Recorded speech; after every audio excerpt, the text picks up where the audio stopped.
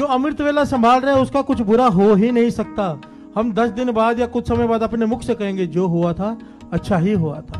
आज समझ में नहीं आती बात। अगर आपका नित्यनेम पक्का है अमृत वेला पक्का है तो किसी चीज़ की टेंशन मत लिया करो। क्योंकि आपके साथ जो कुछ भी हो रहा है वो आपके कर्मों के हिसाब से फिर नहीं हो रहा। वो जो हो रहा है गुरु नानक कर रहा है। प्यार से बोलिए धन गुरु नानक। धन गुरु नानक। कर्मों की वो खाते हैं जिसका गुरु नहीं है जो नाम नहीं जपते। जो नाम जपते हैं वहाँ पर कर्मों की बात नहीं है। वहाँ पर गुरु नानक लिखने वाला बैठा है। प्यार से बोले धन गुरु नानक। धन गुरु अमृत वेले आकर जब कोई अपना सर गुरु के चरणों में रख देता है बाबा नंद सिंह जी के वचन उस दिन के बुरे लेख गुरु नानक के चरणों में। प्यार से बोलिए धन गुरु नानक। धन गुरु नानक।